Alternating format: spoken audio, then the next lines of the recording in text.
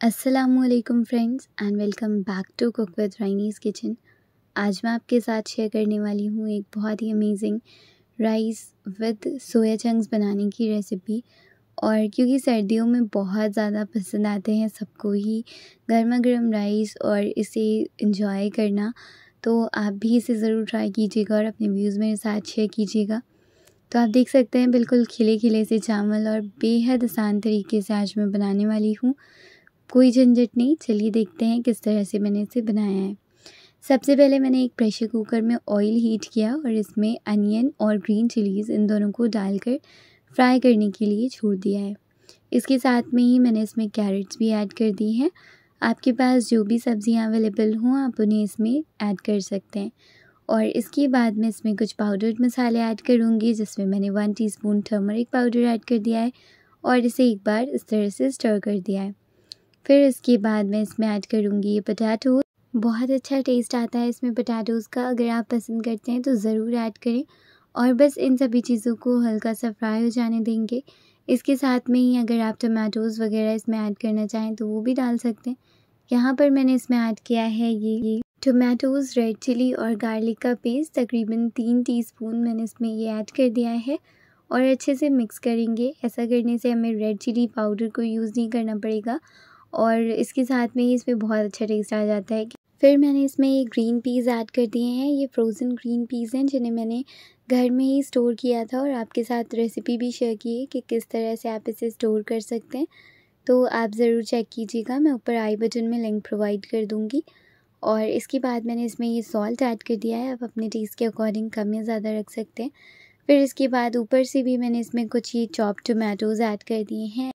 अगर पसंद करते हैं तो ज़रूर ऐड करें, नहीं तो स्किप भी कर सकते हैं। अच्छा इसके बाद यहाँ पर मैंने इसमें सोया चंक्स ऐड कर दिए हैं, जिसे मैंने अच्छे से बॉइलिंग वाटर में सोक करके वॉश कर लिया था। और क्योंकि सोया चंक्स में थोड़ी सी डर्ट वगैरह रहती है तो आपने इसे बहुत अच्छे से वॉश कर लेना है यूज़ करने से पहले। अदरवाइज़ कभी कभी हो जाता है, पूरे राइस ख़राब हो जाते हैं इसकी वजह से। तो बस, अब इसमें जितना भी पानी है, उसे आपने कर देना स्क्वीज़ और इसके बाद इसमें डाल दें। अच्छा इन सारी चीज़ों को अब कर देना है बहुत अच्छे से मिक्स और इसके बाद मैं इसमें ऐड करूँगी सोक्ड राइस तो यहाँ पर मैं नॉर्मल घर वाले चावल का ही यूज़ कर रही हूँ। अगर आप चाहें तो आप इसमें बासमती राइस का भी यूज़ कर सकते हैं, जिसके साथ हम बिरयानी बनाते हैं। और यहाँ पर मैंने ऑलरेडी सोक्ड राइस यूज़ करे हैं। बस आपने इस तरह से इसमें राइस डाल देने हैं और इसके बाद अब यहाँ पर इसे हम हल्का सा मिक्स करेंगे, जिससे कि जो भी मसाले हैं वो अच्छे से स्प्रेड हो जाए। और इसके बाद मैं इसमें ऐड करूँगी पानी। तो यहाँ पर पानी बस आपने इतना ही डालना है जिससे हमारी राइस अच्छे से कुक हो जाए। तो जहाँ तक कि हमारे राइस का लेवल था, बस वहीं तक कि मैंने इसमें पानी ऐड किया है। और क्योंकि हम प्रेशर कुकर में बना रहे हैं तो बहुत ज़्यादा पानी की ज़रूरत नहीं है। बस यहाँ पर अब आप सॉल्ट को चेक कर लें। जो सूप है, इसे थोड़ा सा आप टेस्ट करके देख सकते हैं। अगर ये सॉल्टी लग रहा है दैट मीन्स के राइस के साथ पकने के बाद ये बिल्कुल परफेक्ट आ जाएगा। और अगर यहाँ पर आपको सॉल्ट कम लगे तो आप और ज़्यादा ऐड कर सकते हैं। बस उसके बाद आपने ले लेना है इसे हाई फ्लेम पर। कुछ देर के लिए हाई फ्लेम पर पकाएँगे और इसके बाद फ्लेम को लो करके एक वेज़ल आने तक के कुक करेंगे और इसके बाद ये राइस हमारे बिल्कुल रेडी हैं।